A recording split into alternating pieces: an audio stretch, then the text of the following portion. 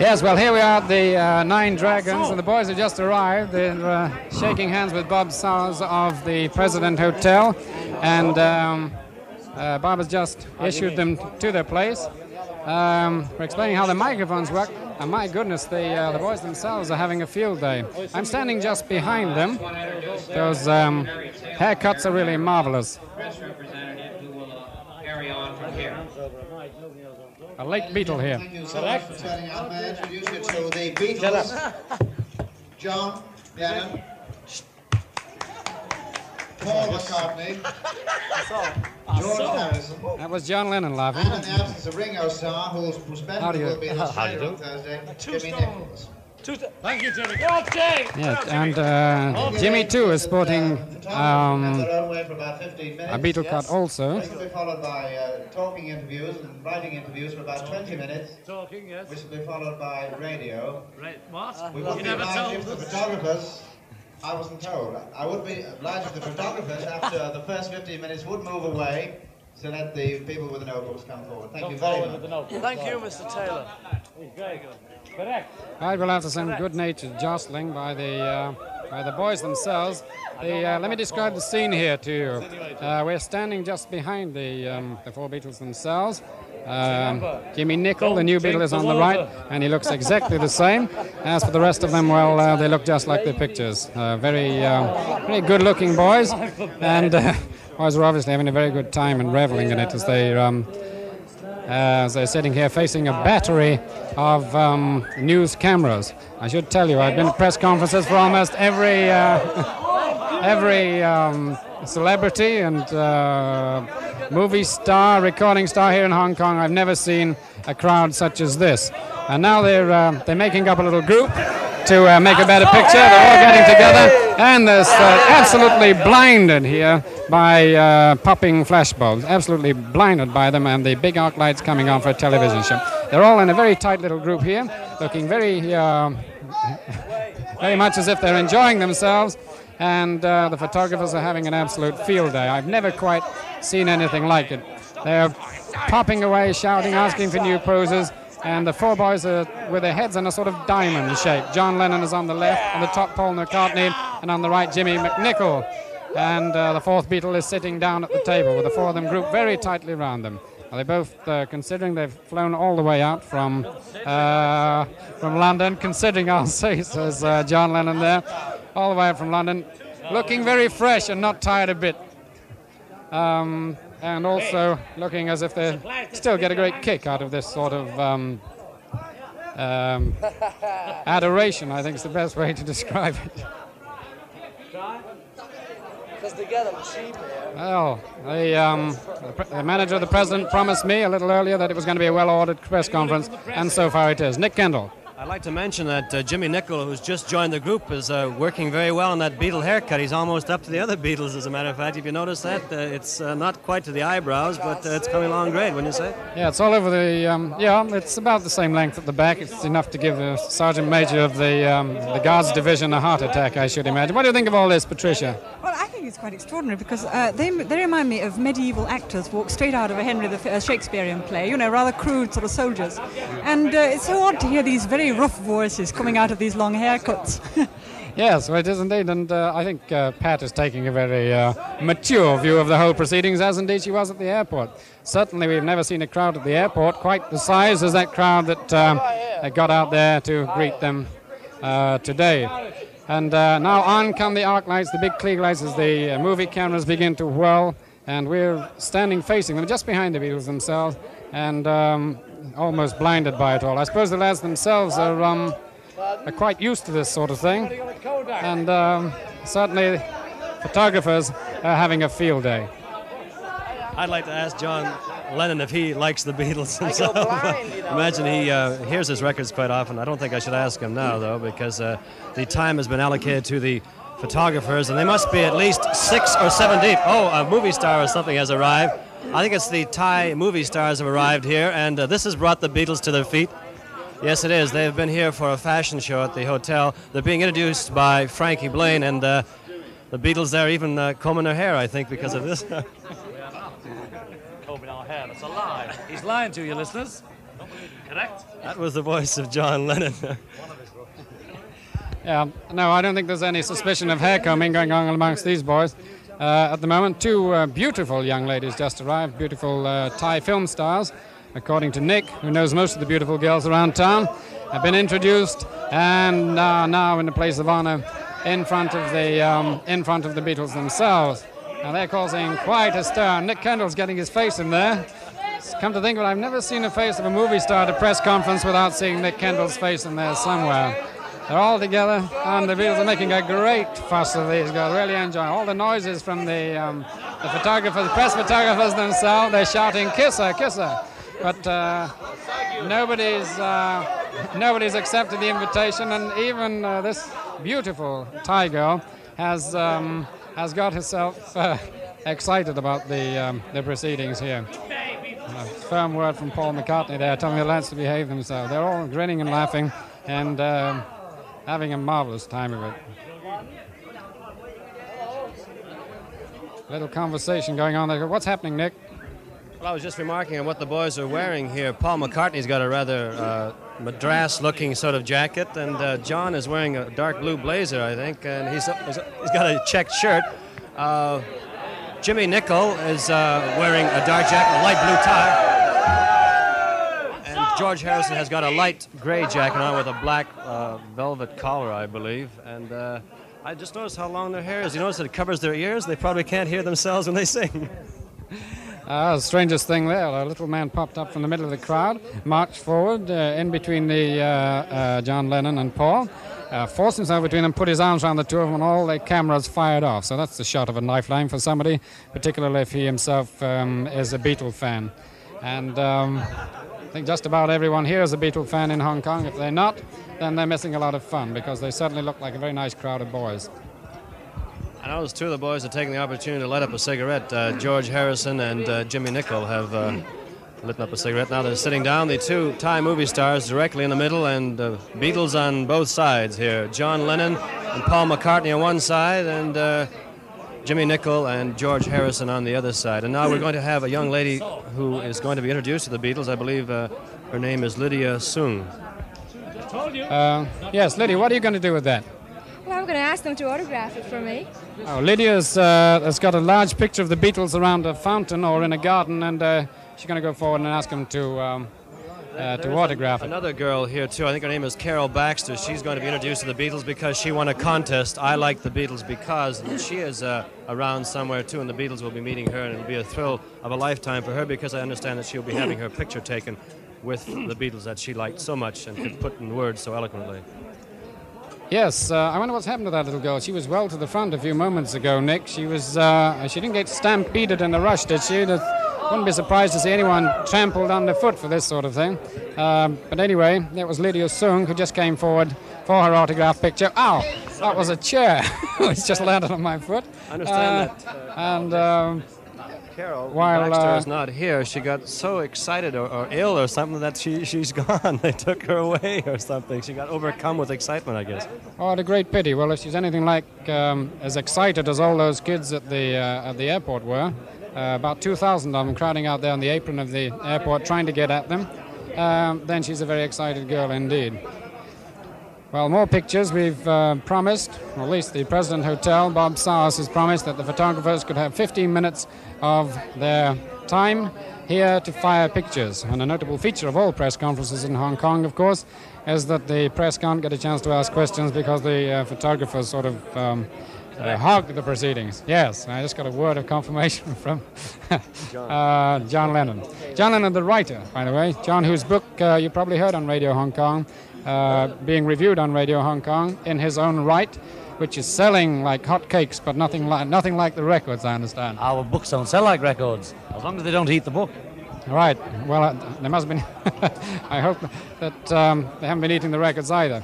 That was John, whose um, whose book you will hear dramatized in the special Beatles program being broadcast this evening at 10 past 9 by Radio Hong Kong. Now, I hope that in just a moment or two, when the uh, press photographers get through, we're going to have the opportunity of uh, asking a few questions with the rest of the press. Uh, so far, everything quite orderly, but of course, the usual um, confusion when there's a press of people, such as there is, at this moment. two more minutes for pictures would probably be enough, and then if all the photographers move back about 12 feet to allow the writers in, that would be most helpful. Correct. Correct. Um, getting allowed here, here. That's Mr. Taylor, the manager on the road with them, who has asked that question, which we somehow think will not be responded to. Photographers in Hong Kong tend not to back off, despite how many rolls of film they've taken. What do you say, Nick? Well, it's going to be interesting to find out what the reaction is when the two minutes are up here. I don't know how they're going to get them back if they decide they don't want to uh, be moved and, and, and hold their ground, which is what they might do. But then again, there was sort of an agreement made with the others that this would be the procedure, and if they don't, we'll probably boo them away, won't we? That's, uh, I believe, one of the one of the Beatles is traveling with his wife, isn't he? Uh, one of the Beatles is married, John Lennon, but I'm not sure if his wife uh, is traveling with him. They don't want to go. I don't think so. Interesting note I'd like to mention here that a real aspect of show business was very vividly and dramatically shown to me at Kai Tak when everybody was screaming for the Beatles. I noticed a group of six musicians. They looked like musicians, and I said to myself, this is probably the group known as Sounds Incorporated. And nobody spoke to them, nobody asked them for an autograph because they're not the stars. So it just goes to show you that it's not all fame and fortune. There are people that are still struggling to reach and attain stardom, and you get completely ignored like like I mentioned, the Sound, Sounds Incorporated group. Six very, very charming fellows. Well, I must take my hat off to uh, Frankie Blaine there. It's the first time I've ever seen it happen at uh, at a press conference. But Frank Blaine, I should tell you, is about six foot ten tall and about the same width across the shoulders. And uh, he has managed something I've never seen at a press conference in Hong Kong before. He's managed to get the photographers out of it so that the press people can have a word. What do you think of that, Pat? Oh, Sorry, I didn't hear what you said. I was being pestered by a little chap who wants me to uh, to use me as a collector of autographs. I was very impressed. I think because their cameras are so hot they couldn't hold them anymore and they just walked to the back to cool off a bit. The astonishing thing is that uh, photographers seem to take about uh, a full roll of 36 films, those shooting in 35 mil. And, move out of the way there. and um, uh, and yet uh, quite often uh, none of these pictures appear in the paper. I'm sure that won't happen today. Today is B-Day, Beatle Day, and the Beatles are here to answer questions by the press. Mr. Nicol, uh, how do you feel being rushed into this vast order of publicity uh, all at once? It's the most exciting experience. Correct. Correct. Correct, which is uh, Beatles' password, I think. Every time a question is asked, there's unanimous agreement with a shout of uh, correct. Only Pereira can ask a question, I think.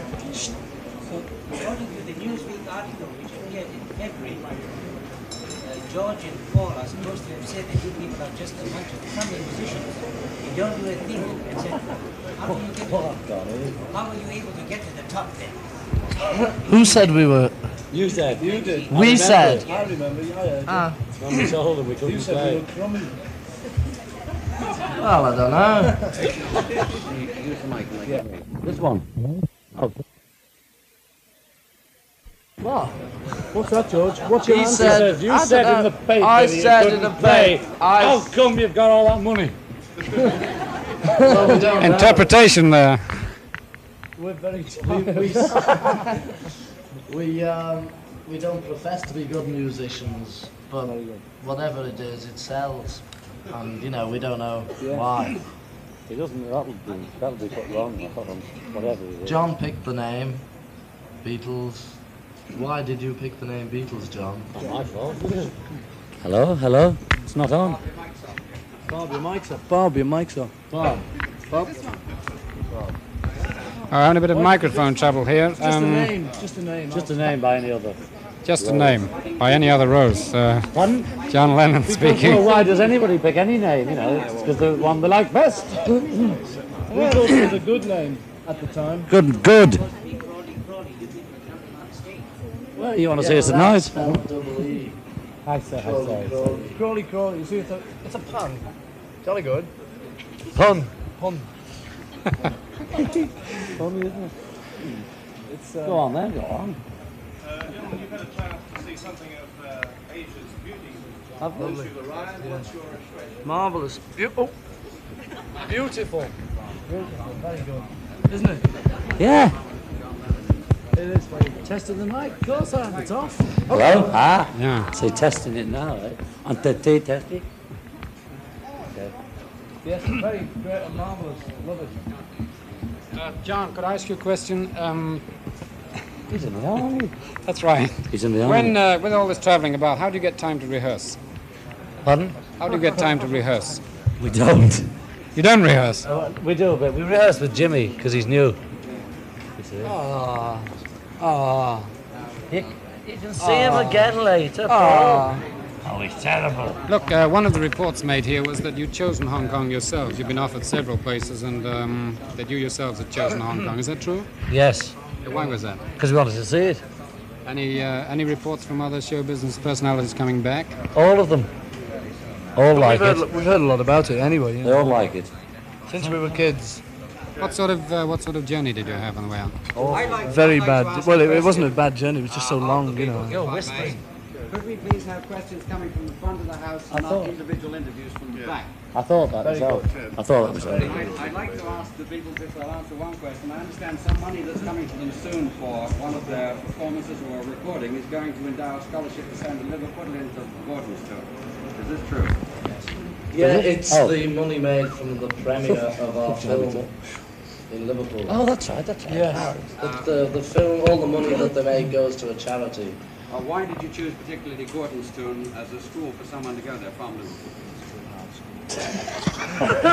Because it's a good art school. Did you get that? Good. What? What? Also, it's on the way down south. isn't it? What you say? You get right off the bus. it's Why did we? We don't know. It was picked for us, actually. Yeah. We didn't, we didn't pick the charity, we just sort of appear and they make the money and give it to whoever they feel like, I think.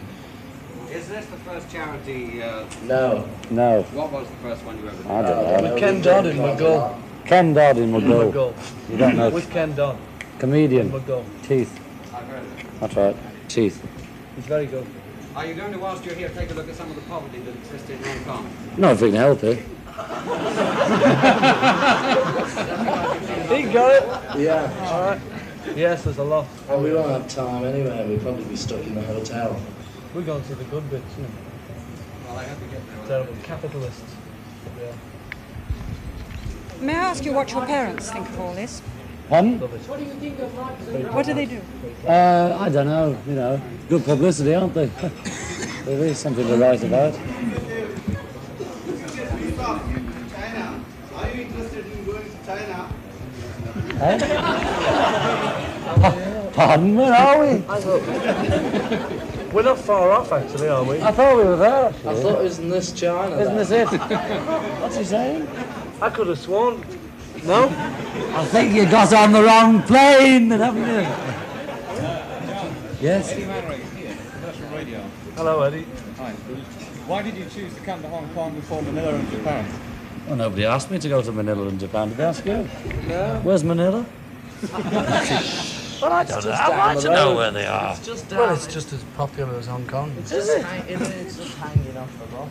Oh, that one. We're not very good at You been doing any shopping while you're in Hong Kong? Yes. Yes. You looking Yes. for anything special? No. But we have some of the somebody said asking questions. somebody Yes. yeah. Somebody said you can get Oh! Oh, very good. Uh, what uh, were your feelings after such a uh, great success in the States uh, when after uh, a number of uh, great investors uh, that uh, an old timer like Louis Armstrong finally replaced you with the number one Ah. Well, when you've got to go, you've got to go, and you might as well, you might as well go with Louis Armstrong as anyone else, might you? He's a good lad. of recording High Dolly in some It's actually it's called Hello, Hello, Dolly. Well, hello, Dolly. It does, you I know. bet you didn't buy it. To the fella that wrote it. You make a lot of money, you know. No, No, uh, we don't want to thingy. Hi, Duffy. Yes. No, we don't record it. No. It's jazz. Yes. Uh, how would you judge your reception of Kai Tak Airport, uh, as- which reception you received when visiting other countries? It's been great. A It good was- comparison. Yeah, it was very good. It, Very good. it was just like. No, it was about the same as we've had recently at other airports. George, they tell me that you arrived in London the other day and only two people turned up. Some of you arrived. And two Three. Three. Sorry. Five, five. Well, I took the Daily Express and, you know, you can't believe them. What happened? And they were all round Ringo's bed in the hospital.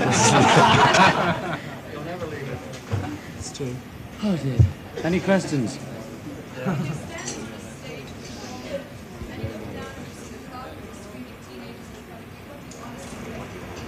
Think, look at them, all screaming. you know, it, it's the it's the same feeling as footballers must get when they come out onto a football field.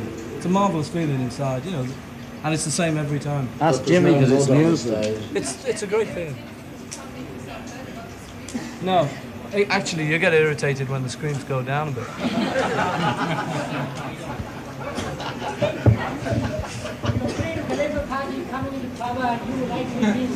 Well, I don't think they'd ban us, but it might be funny with a tax, I've heard.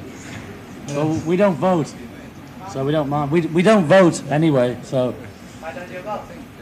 we don't want to. That's fine. Well, I don't know. Well, uh, from what we've seen, they're great. Everywhere you go, there's some good and some bad, aren't there? Yes, true, true, true. I'm true. not arguing. I'm with you. Correct. Correct. Correct. Gentlemen, uh, Stan Rich, American Broadcasting Company. Hey, Stan. Uh, Here you a little bit out of my league, so I got to turn you over to my 12-year-old son here. He's got a couple of questions. Oh, excuse us, we're doing a radio show. Okay, let's, Graham, can we have the, the radio people out for a moment? Uh, are you joking? No, we just, uh, anybody does ours, anybody who happens to have scissors. Right? Correct. Yeah. Ah. Derek?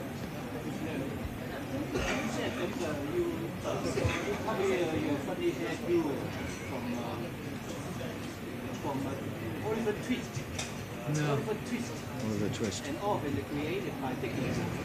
How do you say? No, we didn't. Didn't know that did you? We didn't know Oliver Twist had a Beatle haircut.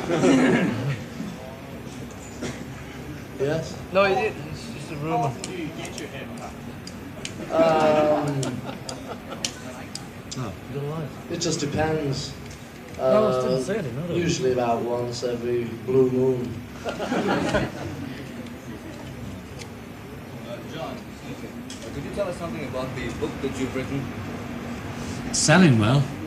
Uh, what made you write it, you know? What is it about? It's about nothing really. Um, I, I just do it for a hobby, you know. I've done it for many years. Have you any idea how many copies you've sold already? No, because I changed my phone number and the fella can't get in touch with me to tell me.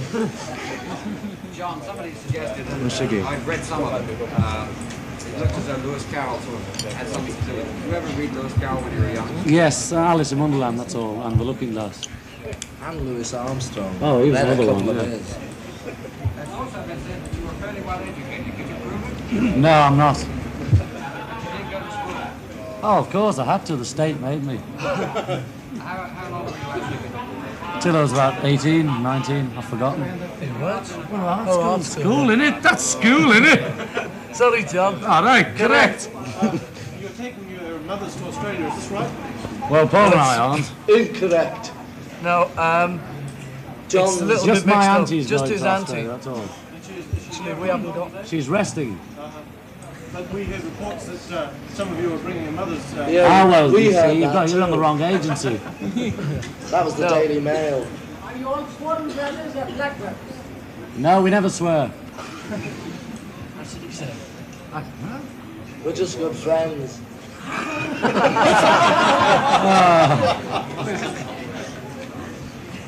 Oh, sorry. Excuse me, tell me. First or second, you first Pardon? Thank you. Mary Collins, Commercial Radio. Uh, you're going to Australia and I heard you're learning some Chinese words. Do you want a lesson on some Australian uh, greetings? Yes, please. How are you, mate? How are you, mate? Oh, you may got that English, yes. And are you going to Bondi Beach? Third oh. Dinkum. I've heard that one. Oh, you can teach me. Third Dinkum, yeah. And tell me about your hairdo before I um, finish off. Now, who thought of this idea? No, nobody, you know, it's hmm. just a, it was just a hairdo that we we'd seen someone with and we liked it, and it developed. You know, we used to wear Developed. longer anyway. Can you step along now? A lot Yeah. people say you're wearing your own legal wigs. Is it real? Well, do you want to pull it? Yeah, may I? Yeah. go. Every press conference. Pull the.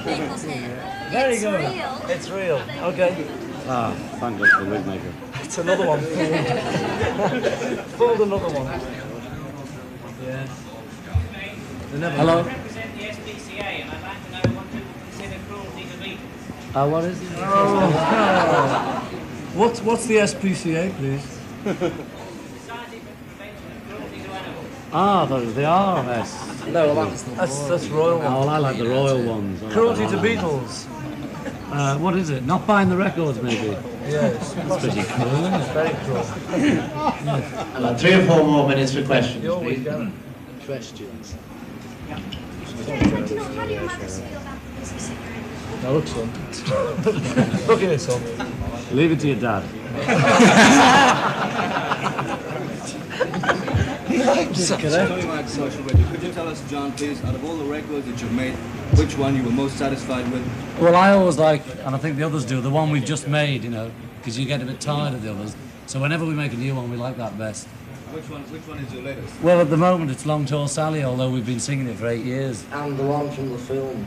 All right, all right, we'll get a plug in. well, And there's a couple in the film. Fitzgerald recording Can't Buy Me Love. Honoured, flattered, Yeah. flattened.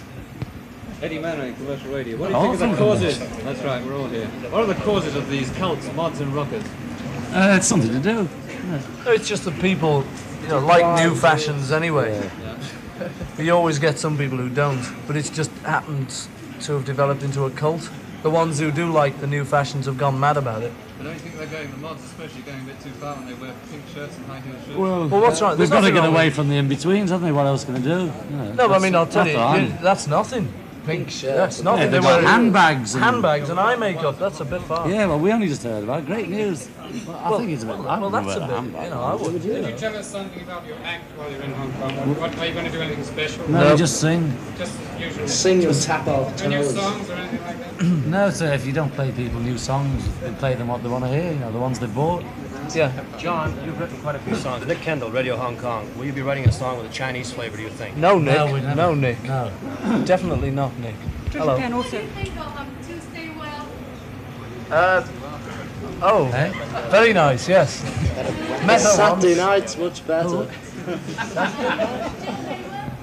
Yes, very nice too. Charming. Oh, I see. I see. Excuse me, for the radio questions, we seem to be infiltrating. Uh, Could I ask? Uh, Can I ask if there are any more press men with questions as opposed to radio men? Correct.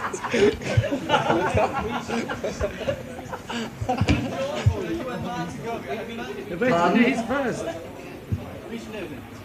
People, the youngster here everywhere nowadays are being infected by so-called uh, uh. How do you think about it?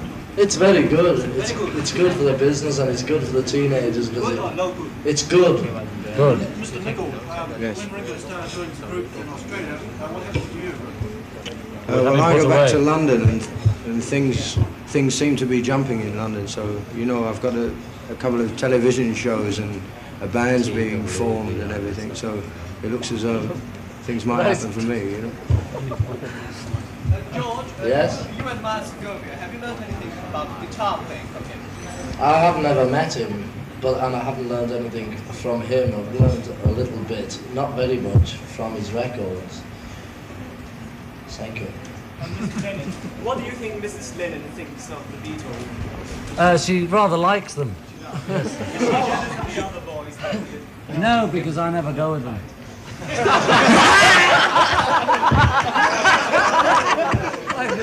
Well, on that note, I think I, can I ask now? Can I first of all thank you very much for being so civilized and so good and so quiet. And can I ask all the uh, all the people on the front row to move away so that the radio men can sit there?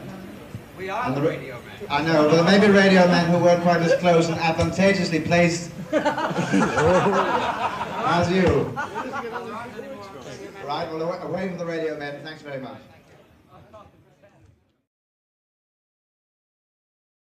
I admire your audacity. I don't think so. Tell me, John, have you ever been frightened by some of the crowds that they get very, very close No, to no, you? no, no, no autographs, please. Come on, fellas. Please. No, no, no. I'm sorry. Not now. Well, a uh, a bunch of the cameramen apparently put their cameras away and got bits of paper. Uh, John? You asked me about getting in front. You get frightened um, by the crowds. I mean, sometimes they really converge on you, don't they? Yeah, but we're usually very well protected, you know. And the only thing, sometimes you get frightened, somebody's going to get bumped by the car, you know, because some people throw themselves at the car. I noticed one of the Dave Clark Five got hit by a stone somewhere. Yeah, it was very bad, you know. I feel sorry for him. And sometimes the young We've children. been hit by things on stage, but we try and ask them not to throw anything, sweets or anything at all. Uh, jelly Rather send them, if they're going to send anything, throwing is anything they throw is dangerous. Uh, what about uh, working with guitars that aren't amplified? Do you think that you rely a lot on the amplification? No, that's just a myth that the press have made up. Everybody who sings or plays any instrument relies on amplification to get it broadcast. Even a concert hall, they need microphones and things normally to pick it up. And we can play the same music on an unamplified guitar, it's just the same. And you wouldn't be able to hear it. We record sometimes with unamplified guitars. A lot of our records are How about uh, when you get some time to relax? How do you unwind and relax a bit? You do a bit of writing, is that right? I like to write just for myself, you know. And uh, Do you have a, a pet uh, food that you like? No, you know, I'm, I'm a, I go off food. I'm off it at the moment because we've been eating all the way over on this plane. It's a pretty hectic sort of life, almost like being in a goldfish bowl or something. I mean, do you Yeah, find it? But you know, we can always sneak out for a fly around the room. That's if we're budgies, man. Yes, you had a nice holiday a little while ago too, didn't Yeah. you? You slipped off the Caribbean, wasn't it? Tahiti. Uh-huh. How was that? I understand the girls gave you a hard time because of your long hair as you were strolling down the streets Yeah, of Papeete. right. They all thought we were a bit funny, which is, I mean, don't blame them. They've never seen hair like it. You know, you, we used to suffer that when before we were known. People used to think we were a bit odd. Well, I, I must congratulate you for being very, very uh, natural and very, very nice. Uh, we, we often meet celebrities sometimes, and we feel that they, they're doing everybody a favor, but you fellows are really down to earth. I appreciate that very much. Very much. Uh, Paul, you've uh, written all the songs, you and John together written most of the hit songs, haven't you? Yeah. How do you, do you have any formula or any system that you uh, use when you're writing these songs? No, uh, no. Th- you know, it's they happen lots of different ways. Sometimes maybe he'll write a whole song himself, and I or I will. You know. But we always say that we both wrote it. Uh, we've both written it. Yeah. I just wonder what came first, maybe the lyric or the tune. Well, that's another thing. You know, sometimes the lyric does come first, sometimes the tune, sometimes both together. Sometimes he'll do one line, sometimes I'll do one line. It's very, very. Uh, I noticed that uh, some other singers are singing your material too. Uh, do you feel that you shouldn't record it all and you write it for somebody else? No, the thing, yeah, you know, I mean, uh, I think it's silly if we record everything because we're just pushing it down people's throats. Then I think if we can get different sounds with our songs, then people like them better. With uh, a recent example with Peter and Gordon in England, who recorded "World Without Love," and it's gone right to the top of America, England, everywhere. Yeah. What about your money? Are you investing it in, a, in any sort of I don't trust know. fund? Yeah, I, I don't know about it really because our accountant uh, deals with it, you know. So we don't know an awful lot about it. That tax must take a pretty good uh, sure chunk out of it. Well, thanks ever so Pity. much. Okay.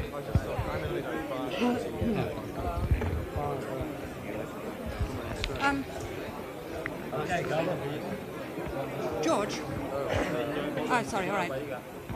George is busy talking to another reporter. I think I have a word with uh, Jimmy Nicol. Jimmy, have you got a moment? Um, one thing I would like to ask, what, what is the, the group's own favourite group? Apart from yourselves, I mean, uh, what kind of music do you, do you go for when you're, when you're not playing yourselves? Or what is yours, all right? You can't speak for them. Well, they like all t- uh, um, they like all types of things. You know, they uh, they like a lot of um, American American groups as well as a lot of English English ones. You know, they're When you say American groups, do you mean... Uh, well, no, not uh, um, not not groups. I mean, you know, artists, um, artists, people like Chuck Berry and those type of people. What about uh, jazz, jazz, New Orleans? Well, I can't speak. Um, I can't speak for them about that, but um, I, uh, I particularly uh, don't like it. You know, I like uh, um, things that move on all the time. For instance, Um, well, yes, I like Brubeck, but I think there's, uh, um, you know, my own particular favourite is Cannonball Adderley, and Ellington and Basie, of course. You know. The established. Yeah, well, you see, the, differ- the difference between uh, um, difference with me is that I've played in big bands and I've played, big, um, you know, arrangements by all these people, and I have loads of tapes at home of Adderley and Latin, good Latin American music, you know.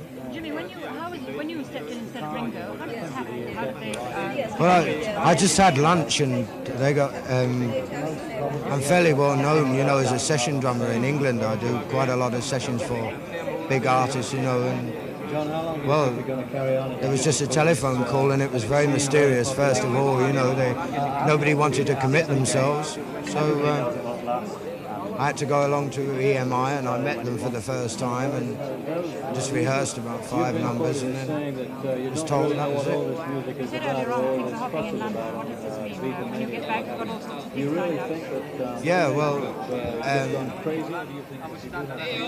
I made one record, you know, in London, which didn't go. I tried uh, uh, two months ago. I tried to um, make my own band happen, you know, like everybody does. You know, a chance get a recording contract. But um, now um, I had the band, but I didn't have any work. But now it looks as though I've got the work, but I've got the band. Yeah. So But- when you go back, you go, have to get a group together. well, that's been um, that's being arranged. You know, people have people have taken it on them. Um, you know, my manager is sorting it out, but obviously, I want to I want to supervise it naturally. You know. Well, good luck to you anyway. Thank you. I'm glad you got such a good start. You've been compared with Lewis Carroll. That was uh, Jimmy Nicol, and um, I think I see Paul McCartney now um, having a word. Uh, George Harrison's talking. Let's see if we can pick up what he's saying anyway. Bought all the tickets, so they can't be disappointed. All right, thank you. Thank you. Uh, what was that question about? He said something about did, did I know the teenagers in America were disappointed because we weren't going there in July, which is a lot of rubbish anyway because it was never intended for us to go there in July. George, you were with the Beatles from the start, were you? Yes. And the Beatles are responsible for this, uh, what's called the Mersey beat. Yeah, well, um, the time that we started to make records, although the, the, the current trend in Britain was Cliff Richard and the Shadows, it was sort of ballads and things, but we, we'd been playing for years, ever since the first rock and roll started. Well, we, well, we didn't like the ballad stuff, so we just carried on playing it, and eventually we, we wrote our own songs, and when we managed to record, then they caught on, and it sort of brought it back, and then it, the, the uh, all the groups changed over again. How, how do you feel about all these other groups uh, following your style now? It's great. I mean, they say it's the biggest form of flattery, isn't it? Uh, George, you've um, certainly made a fantastic success. The Beatles have been a terrific success. But do you yourselves really think that you've got talent? Yeah. I don't. The thing is, The sound is no different, is it? It's just like any other rock and roll group. Well, it, it uh, the sound's no different now, but when we first uh, started recording, it was because no other groups were recording in that that style. But now everybody's recording like us, so it's not different. But the thing is, none of us possess to be individually to be great musicians or very talented. It's mainly just luck. No, but the thing is, as a group, I think we're, we're good. I think we're much better as a group as than we are individually, and that's one reason why we'd never go solo. How much was it? How much was the? Is it the suit and the clothes and the haircut as compared to the actual music, though? Uh, it was the gimmick of the, the haircut more than anything else, don't you think? Well, the thing is, the people heard our records before they saw us. So, I mean, maybe the records, uh, maybe the hairstyles and our clothing, uh, just us helped. You're not on top of the hit parade anymore now. How long do you think it'll be before you're, you're finished? Do you think? Oh, I don't know. We don't care, you know. We just go for as long as we last. And when when we do fade out, we'll have, a, you know, we'll have things to do. We won't worry.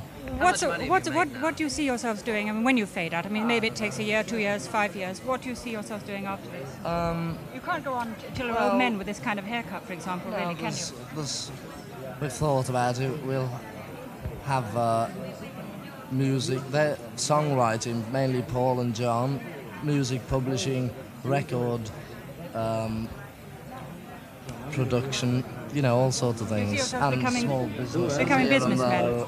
There. Well, I don't know, but, you know, we'll be all right. How much money have you actually made? Do you know? I don't know. Our accountant's still trying to work that out.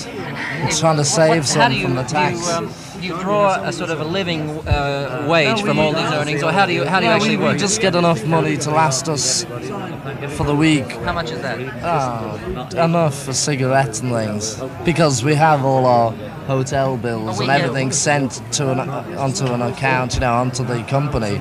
We have figures of millions and millions of pounds that you're being made. No, I Yeah, mean, uh, well, what do you live it's on o- it's often being quoted that we're all millionaires, but I think that's untrue. In fact, I know it's untrue. But not if you compare it to the, the numbers of records you've sold. You've, they've sold millions of records. You must get, uh, I mean, just on a straight uh, uh, calculation, you work Yeah, it out. It's all right working out how much money we've that we've made out of records and shows, but that's all before the tax have had their their part, and the tax. What with- about your with- American earnings, though? Uh, that's, is that Well, American that's- tax? Of course, there's and English tax. No, there's just the English tax, I think. But it's still, you know, they try and take 18 and 3 out of every pound, which is a lot. Isn't it? Are you happy?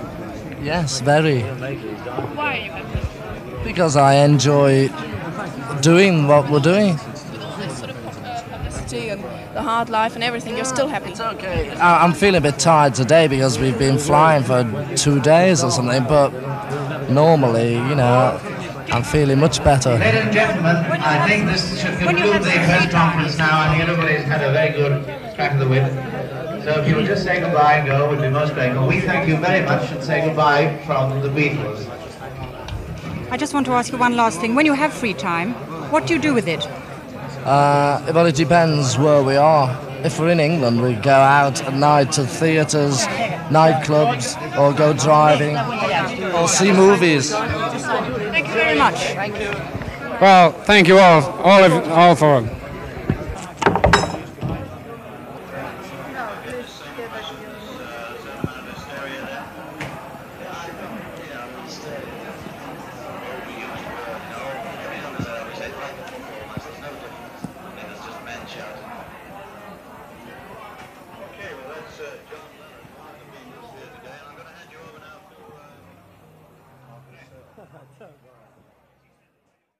the Beatles from the start, were you? Yes. And the Beatles are responsible for this, uh, what's called the Mersey beat. Yeah, well, um, the time that we started to make records, all the, the, the, the current trend in Britain was Cliff Richard and the Shadows, it was sort of ballads and things. But we, we'd been playing for years, ever since the first rock and roll started. Well, we, well, we didn't like the ballad stuff, so we just carried on playing it.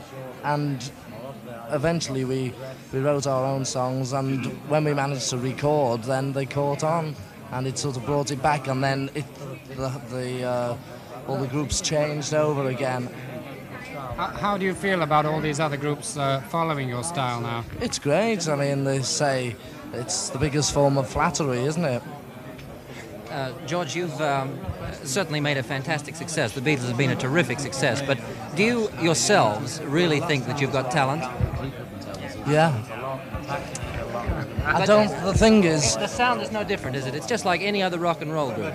Well, it, it uh, the sound's no different now, but when we first uh, started recording, it was because no other groups were recording in that that style. But now everybody's recording like us, so it's not different. But the thing is, none of us possess to be individually to be great musicians or very talented. It's mainly just luck. No, but the thing is, as a group, I think we're, we're good. I think we're much better as a group as, than we are individually, and that's one reason why we'd never go solo. How much was it? How much was the? Is it the suit and the clothes and the haircut as compared to the actual music, though? Uh, it was the gimmick of the the haircut more than anything else, don't you think? Well, the thing is, the people heard our records before they saw us. So, I mean, maybe the records, uh, maybe the hairstyles and our clothing, uh, just us helped. You're not on top of the hit parade anymore now. How long do you think it'll be before you're, you're finished? Do you think? Oh, I don't know. We don't care, you know. We just go for as long as we last. And when, when we do fade out, we'll have a, you know, we'll have things to do. We won't worry. What's what, what, what do you see yourselves doing? I mean, when you fade out, I mean, maybe it takes a year, two years, five years. What do you see yourselves doing after this? Um, you can't go on t- till you're well- old men with this kind of haircut, for example, No, really, can there's- you? there's- we've thought about it. We'll have uh, music, there, songwriting, mainly Paul and John, music publishing, record um, production, you know, all sorts of things, and becoming- small business. becoming here and businessmen? There. Well, I don't know, but you know, we'll be all right. How much money have you actually made? Do you know? I don't know. Our accountant's still trying to work that out. He's trying to save What- some how you, from the do tax. you, um, you draw a sort of a living? We're explaining how the microphones work, and my goodness, the uh, the boys themselves are having a field day. I'm standing just behind them. Those um, haircuts are really marvelous. Press representative who will uh, carry on from here. A late Beatle here. Thank you so much for turning out. May I here. you to the Beatles? John Lennon, Paul McCartney, George Harrison, That was John Lennon laughing. and in the absence of Ringo Starr, whose How do perspective will be in how do you Australia do? on Thursday, Jimmy Nicols. Thank you, Jimmy. Go on, Jay! Yes, and uh, Jimmy too is sporting um, their own way for about 15 minutes. a Beatle cut also. This will be followed by uh, talking interviews and writing interviews for about 20 minutes. Talking, yes. Which will be followed by radio. Right, what? We would you be never obliged told if the photographers. I wasn't told. I would be obliged if the photographers, after the first 15 minutes, would move away so that the people with the notebooks come forward. Thank you very much. Thank you, Mr. Taylor. Very good. Correct. I will have to some good-natured jostling by the uh, by the boys themselves. The, uh, let me describe the scene here to you. Uh, we're standing just behind the um, the four Beatles themselves. Um, Jimmy Nicol, the new Beatle, is on the right, and he looks exactly the same. As for the rest of them, well, uh, they look just like the pictures. Uh, very, uh, very good-looking boys, and uh, boys are obviously having a very good time and reveling in it as they um, as they're sitting here facing a battery of um, news cameras. I should tell you, I've been at press conferences for almost every uh, every um, celebrity and uh, movie star, recording star here in Hong Kong. I've never seen a crowd such as this. And now they're uh, they're making up a little group to uh, make a better picture. They're all getting together, and they're uh, absolutely blinded here by uh, popping flashbulbs. Absolutely blinded by them, and the big arc lights coming on for a television show. They're all in a very tight little group here, looking very, uh, very much as if they're enjoying themselves. And uh, the photographers are having an absolute field day. I've never quite seen anything like it. They're popping away, shouting, asking for new poses. And the four boys are with their heads in a sort of diamond shape. John Lennon is on the left, on the top Paul McCartney, and on the right Jimmy McNichol. And uh, the fourth Beatle is sitting down at the table with the four of them grouped very tightly around them. Well, they both, uh, considering they've flown all the way out from uh, from London, considering I'll say uh, John Lennon there, all the way out from London, looking very fresh and not tired a bit. Um, and also looking as if they still get a great kick out of this sort of um, um, adoration, I think is the best way to describe it. Well, the, um, the, the manager, of the president, promised me a little earlier that it was going to be a well-ordered press conference. Uh, Nick Kendall's getting his face in there. Come to think of it, I've never seen a face of a movie star at a press conference without seeing Nick Kendall's face in there somewhere. They're all together, and the Beatles are making a great fuss of these guys. Really enjoying all the noises from the, um, the photographers, press photographers themselves. They're shouting, "Kiss her, kiss her!" But uh, nobody's uh, nobody's accepted the invitation, and even uh, this beautiful Thai girl has um, has got herself uh, excited about the um, the proceedings here. A firm word from Paul McCartney there, telling the lads to behave themselves. They're all grinning and laughing and um, having a marvelous time of it. Little conversation going on there. What's happening, Nick? Well, I was just remarking on what the boys are wearing here. Paul McCartney's got a rather uh, madras-looking sort of jacket, and uh, John is wearing a dark blue blazer, I think, and he's he's got a checked shirt. Uh, Jimmy Nicol is uh, wearing a dark jacket, a light blue tie, George Harrison has got a light gray jacket on with a black uh, velvet collar, I believe, and. Uh, I just noticed how long their hair is. You notice that it covers their ears? They probably can't hear themselves when they sing. The strangest thing there, a little man popped up from the middle of the crowd, marched forward uh, in between the uh, uh, John Lennon and Paul, uh, forced himself between them, put his arms around the two of them, and all the cameras fired off. So that's the shot of a lifeline for somebody, particularly if he himself um, is a Beatle fan. And um, I think just about everyone here is a Beatle fan in Hong Kong. If they're not, then they're missing a lot of fun because they certainly look like a very nice crowd of boys. I noticed two of the boys are taking the opportunity to light up a cigarette. Uh, George Harrison and uh, Jimmy Nicol have uh, lit up a cigarette. Now they're sitting down. The two Thai movie stars directly in the middle, and uh, Beatles on both sides here. John Lennon and Paul McCartney on one side, and uh, Jimmy Nicol and George Harrison on the other side. And now we're going to have a young lady who is going to be introduced to the Beatles. I believe uh, her name is Lydia Sung. Uh, yes, Lydia, what are you going to do with that? Well, I'm going to ask them to autograph it for me. Oh, Lydia's uh, has got a large picture of the Beatles around a fountain or in a garden, and uh, she's going to go forward and ask them to um, uh, to autograph it. Another girl here too. I think her name is Carol Baxter. She's going to be introduced to the Beatles because she won a contest. I like the Beatles because she is uh, around somewhere too, and the Beatles will be meeting her, and it'll be a thrill of a lifetime for her because I understand that she'll be having her picture taken with the Beatles that she liked so much and could put in words so eloquently. Yes, uh, I wonder what's happened to that little girl. She was well to the front a few moments ago, Nick. She was uh, she didn't get stampeded in the rush, did she? That wouldn't be surprised to see anyone trampled underfoot for this sort of thing. Um, but anyway, that was Lydia Sung who just came forward for her autograph picture. Ow! That was a chair. it's just landed on my foot. I understand Uh, that. And um, Think, look at them, all screaming. you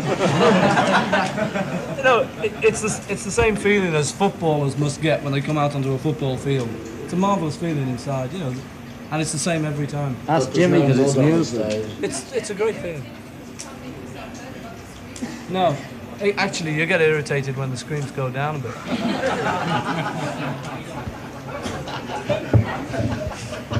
The Labour Party coming into power and you would like to be banned? Well, I don't think they'd ban us, but it might be funny with a tax, I've heard.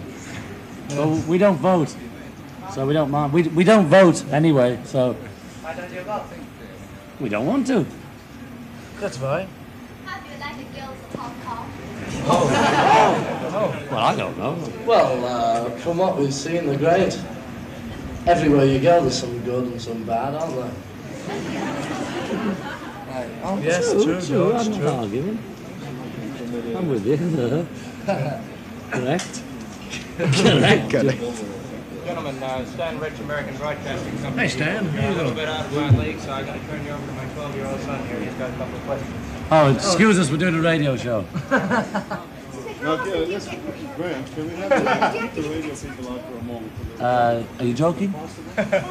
No, we just, uh, anybody does ours, anybody who happens to have scissors. Right? Correct. Yeah. Ah.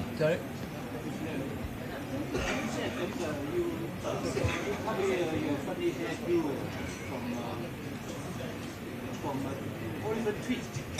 No. Oliver Twist. And often created by techniques. How do you say? No, we didn't. Didn't know that. We didn't know Oliver Twist had a Beatle haircut. yes? No, it didn't. It's just a rumour. Um, Oh, you don't like it just depends. No, I was Uh, still saying it, no, no. usually about once every blue moon. Uh, John, uh, could you tell us something about the book that you've written? It's selling well. Uh, what made you write it, you know? What is it about? It's about nothing really. Um, I, I just do it for a hobby, you know. I've done it for many years. Have you any idea how many copies you've sold already? No, because I changed my phone number and the fella can't get in touch with me to tell me. John, somebody suggested that uh, I've read some of it. Uh, it looked as though Lewis Carroll sort of had something to do with it. Did you ever read Lewis Carroll when you were young? Yes, uh, Alice in Wonderland, that's all, and The Looking Glass. And Louis Armstrong. Oh, he was Then a another one, yeah. Uh, what uh, were your feelings after such a uh, great success in the States uh, when after uh, a number of uh, great records uh, that uh, an old timer like Louis Armstrong finally he played two and the one Ah.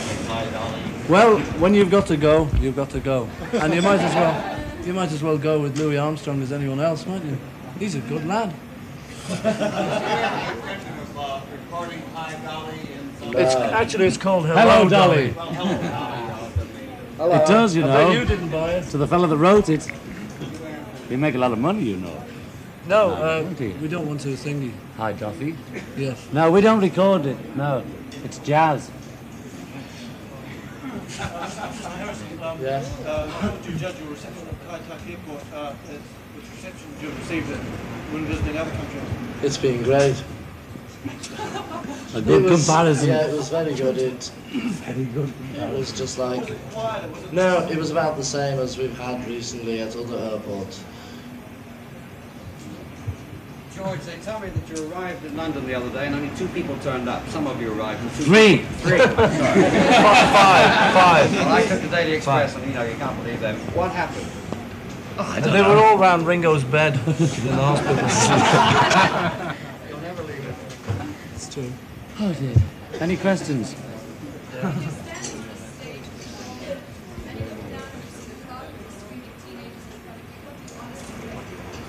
Think, look at them, all screaming. you know, it, it's the, it's the same feeling as footballers must get when they come out onto a football field. It's a marvellous feeling inside, you know, and it's the same every time. Ask But there's Jimmy no because it's mud music. It's it's a great feeling. No, a- actually, you get irritated when the screams go down a bit.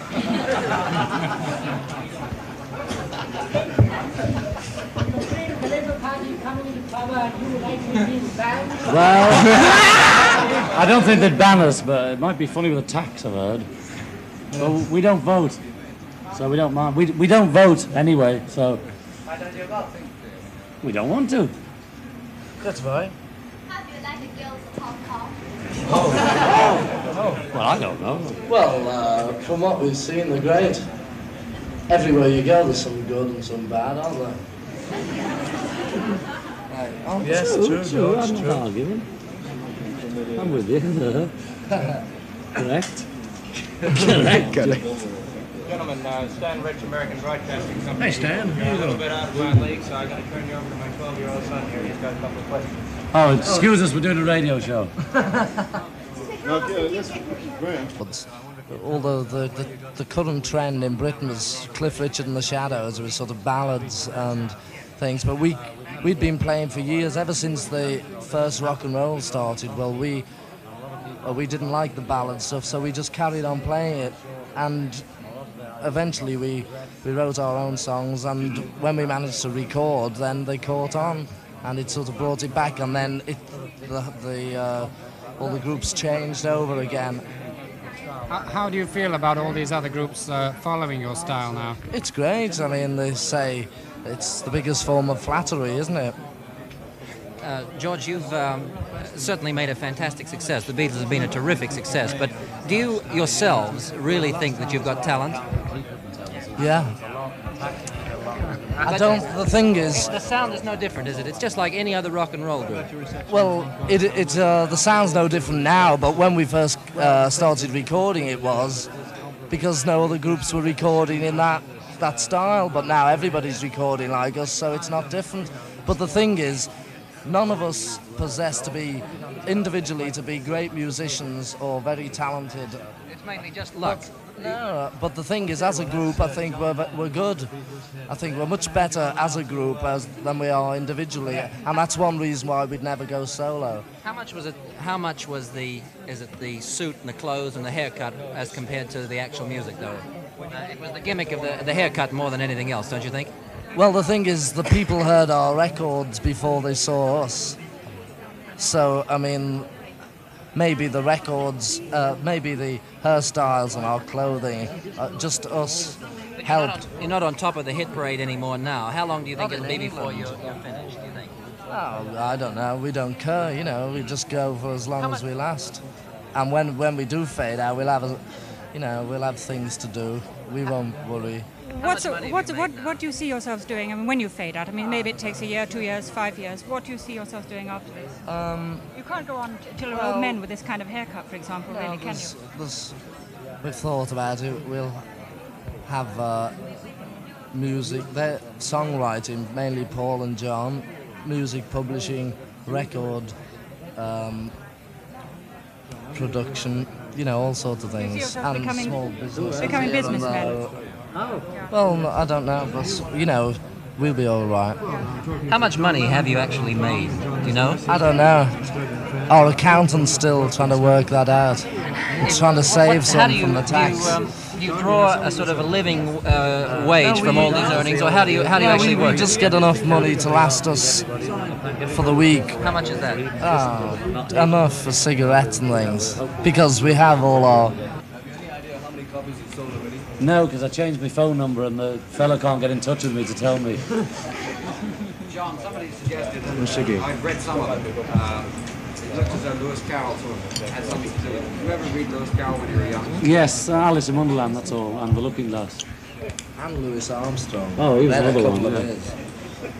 also been said that you were fairly well educated. Could you prove it? No, I'm not. You didn't go to school. Oh, of course, I had to. The state made me. How, how long were you educated?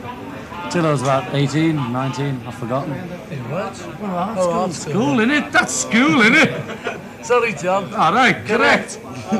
You're taking your mothers to Australia, is this right? Well, Paul and I aren't. Incorrect.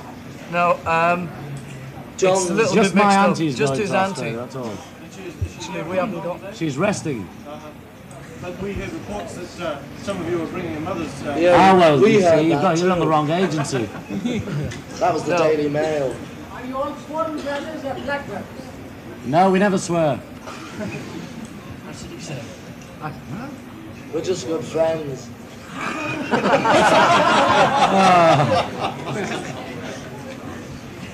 Oh, sorry. Oh. Excuse me. Sorry. First, I'll say you first, Mary. Thank you. Mary Collins, Commercial Radio. Uh, you're going to Australia, and I heard you're learning some Chinese words. Do you want to listen on some Australian uh, greetings? Yes, please. Go on, How are you, mate? How are you, mate? Oh, you may got that English, yes. And are you going to Bondi Beach? Third Dinkum. I've heard that one. Oh, you can teach me. Third Dinkum, yeah. Now tell me about your hairdos before I uh, finish off. Now, who thought of this idea? No- Nobody, you know, it's just a, it was just a hairdo that we we'd seen someone with and we liked it, and it developed. You know, we used the word Developed. longer anyway. Can you settle an argument now? A lot Yeah. of people say you're wearing your own legal wigs. Is it real? Well, do you want to pull it? Yeah, may I? Yeah. go.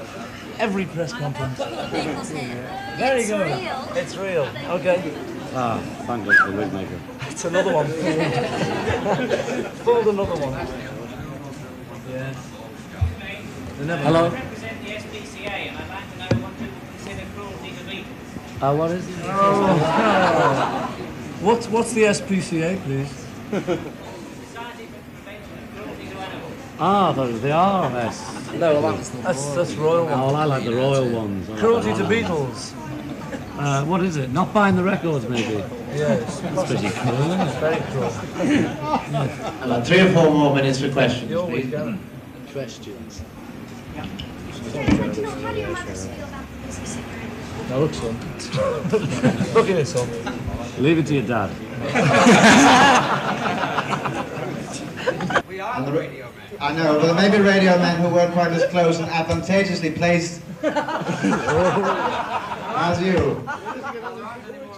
Right, well, away- away from the radio men. Thanks very much.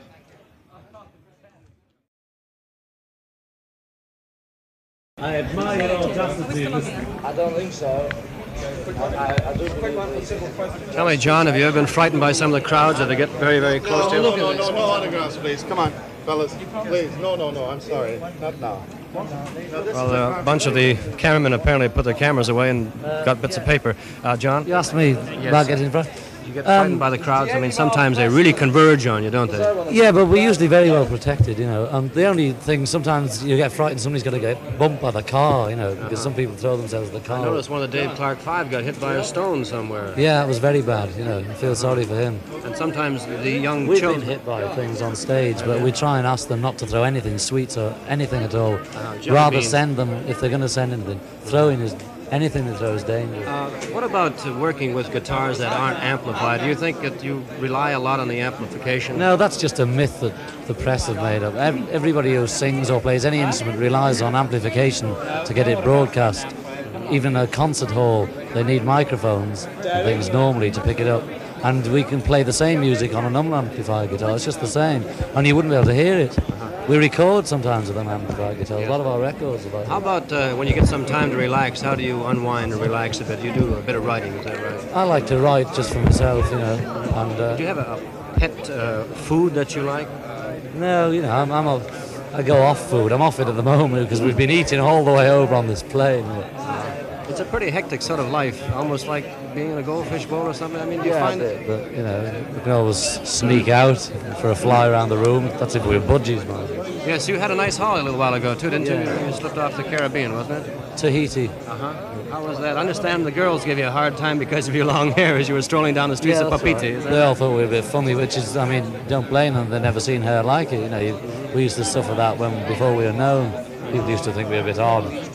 Well, I, I must congratulate you for being very, very uh, natural and very, very nice. Uh, we, we often meet celebrities sometimes, and we feel that they, they're doing everybody a favor, but you fellows are really down to earth. I appreciate that very much. Uh, Paul, you've uh, written all the songs, you and John together written most of the hit songs, haven't you? Yeah. How do you, do you have any formula or any system that you uh, use when you're writing these songs? No, uh, no. Th- you know, it's they happen lots of different ways. Sometimes maybe he'll write a whole song himself, and I or I will. You know. But we always say that we both wrote it. Uh, we've both written it. Yeah. I just wonder what came first, maybe the lyric or the tune.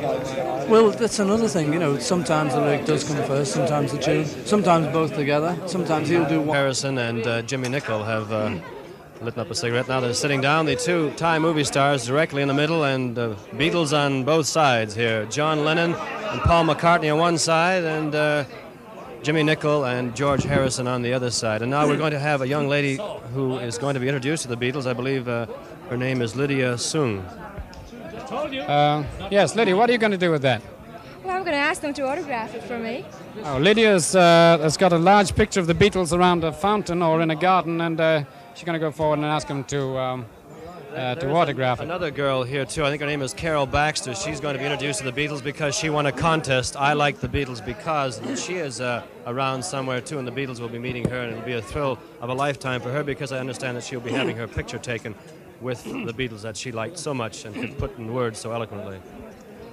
Yes, uh, I wonder what's happened to that little girl. She was well to the front a few moments ago, Nick. She was uh, she didn't get stampeded in the rush, did she? That- wouldn't be surprised to see anyone trampled underfoot for this sort of thing. Um, but anyway, that was Lydia Sung who just came forward for her autograph picture. Ow! That was a chair. it's just landed on my foot. I understand Uh, that. And um, Carol while Baxter uh, is not here. She got so excited or, or ill or something that she, she's gone. They took her away or something. She got overcome with excitement, I guess. Oh, what a great pity. Well, if she's anything like um, as excited as all those kids at the uh, at the airport were, uh, about 2,000 of them crowding out there on the apron of the airport trying to get at them, um, then she's a very excited girl indeed.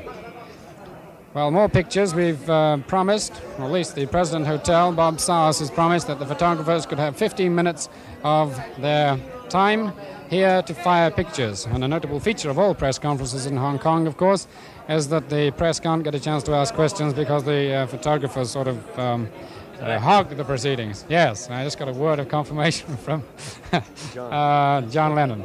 John Lennon, the writer, by the way. John, whose book uh, you probably heard on Radio Hong Kong, uh, being reviewed on Radio Hong Kong in his own right, which is selling like hotcakes, but nothing like nothing like the records, I understand. Our books don't sell like records, as long as they don't eat the book. Right. Well, uh, there must have been. I hope that um, they haven't been eating the records either. That was John, whose um, whose book you will hear dramatized in the special Beatles program being broadcast this evening at 10 past 9 by Radio Hong Kong.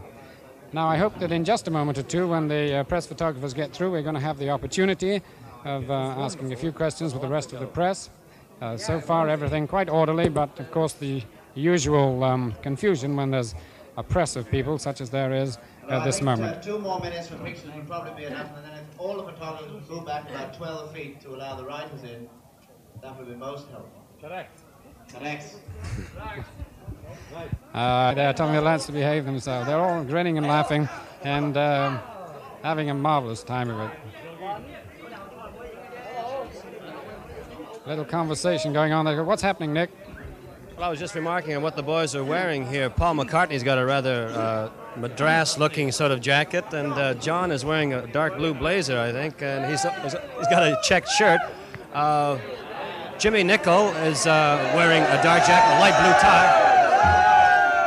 And George Harrison has got a light gray jacket on with a black uh, velvet collar, I believe. And uh, I just noticed how long their hair is. You notice that it covers their ears? They probably can't hear themselves when they sing.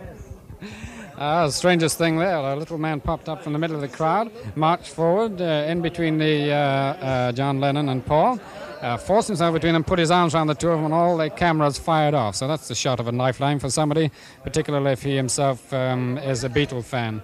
And um, I think just about everyone here is a Beatle fan in Hong Kong. If they're not, then they're missing a lot of fun because they certainly look like a very nice crowd of boys.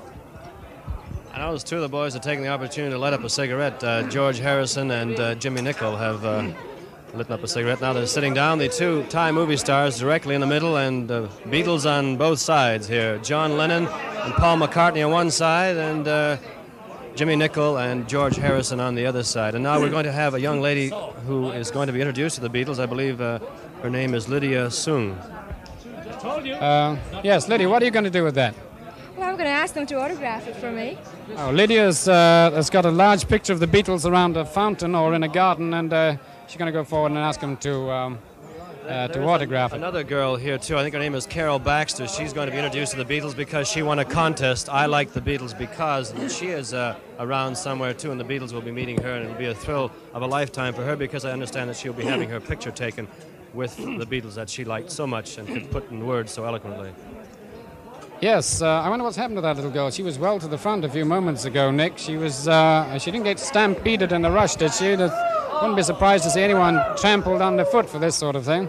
Um, but anyway, that was Lydia Sung who just came forward for her autograph picture. Ow! That was a chair. it's just landed on my foot. I understand Uh, that. And um, Carol while Baxter uh, is not here. She got so excited or, or ill or something that she, she's gone. They took her away or something. She got overcome with excitement, I guess. Oh, what a great pity. Well, if she's anything like um, as excited as all those kids at the uh, at the airport were, uh, about 2,000 of them crowding out there on the apron of the airport trying to get at them, um, then she's a very excited girl indeed. Well, more pictures. We've uh, promised, or at least the President Hotel, Bob Sars, has promised that the photographers could have 15 minutes of their time here to fire pictures. And a notable feature of